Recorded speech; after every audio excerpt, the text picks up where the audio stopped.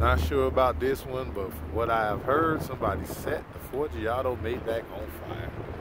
That may be a rumor, may not be true, but wow, looking at that is a Maybach on fire at the SEMA show. That is crazy.